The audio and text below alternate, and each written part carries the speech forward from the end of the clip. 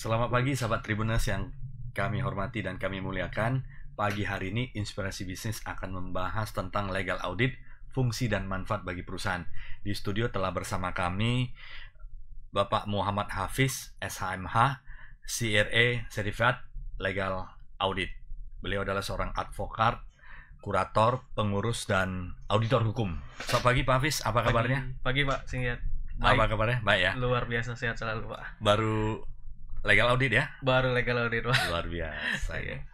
Jadi sahabat Tribuners, eh, selain aspek bisnis dan aspek finance, marketing dan beberapa aspek yang ada di dalam perusahaan, kita juga membahas tentang aspek hukum di dalam menjalankan bisnis supaya nanti eh, ke depannya bisnis-bisnis, aset-aset dari sahabat Tribuners, eh, para pengusaha itu eh, terlindungi dengan baik dan dapat dipertanggungjawabkan dengan baik sehingga akan mempermudah bagi perusahaan untuk melakukan ekspansi, go public dan sebagainya ya. Apakah itu tujuan untuk investasi, apakah itu tujuan untuk eh, kerjasama dan sebagainya. Legal audit ini sangat penting bagi perusahaan. Kita akan tanya ahlinya Pak Hafiz. Apa kabar Pak Hafiz? Baik ya. Baik Pak. Dan ini legal audit, eh, kenapa harus legal audit bagi perusahaan Pak? Ya. Mungkin Pak Hafiz ceritakan sedikit eh, latar belakang kenapa banyak akhir-akhir ini eh, banyak melakukan legal audit untuk perusahaan. ya, eh, terima kasih nih Pak Singyat sebelumnya. Ya, Udah diundang di Tribun berdiskusi terus, Ya. ya kan? Eh, maju terus lah buat Tribun deh. sama Pak. Iya. Ya, Bapak juga maju beserta tim ya Pak ya. Ya. Ya.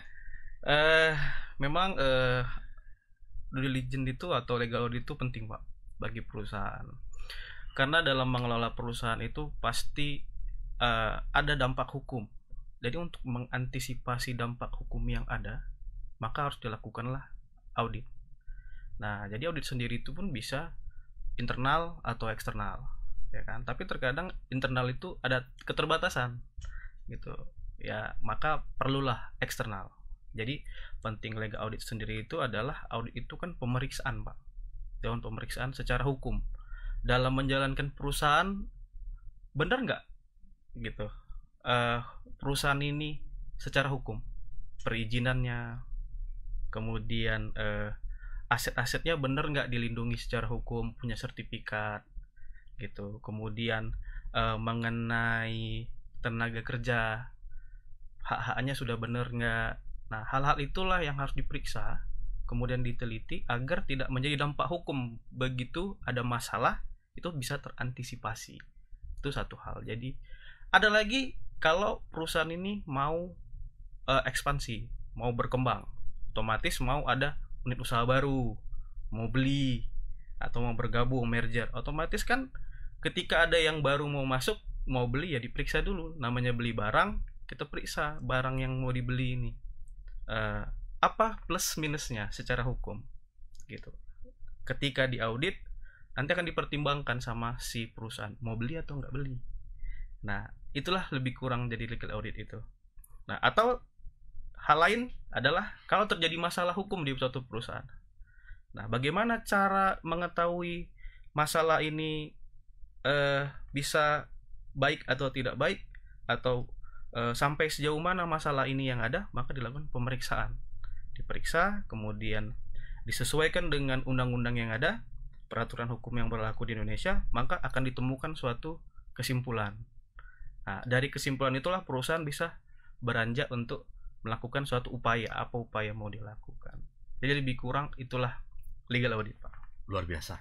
Nah, sahabat Tribuners, semoga ini nanti menjadi sebuah masukan atau sebuah informasi yang berharga bagi sahabat Tribuners khususnya yang bergerak di bidang bisnis dan ada kegiatan-kegiatan usaha lainnya ya.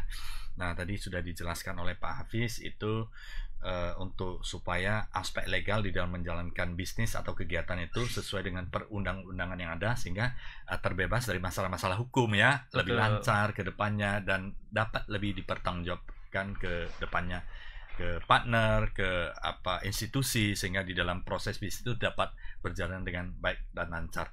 Kalau di legal audit itu seperti kalau dokter itu adalah lab check ya Pak ya. Lab check. Kita cek eh, perusahaan, Ya, eh, kemudian lab, lab check ada cek kolesterol, cek eh, asam urat dan sebagainya Pak ya. bisa dibilang seperti itu. Iya, tapi ini adalah aspek legalnya.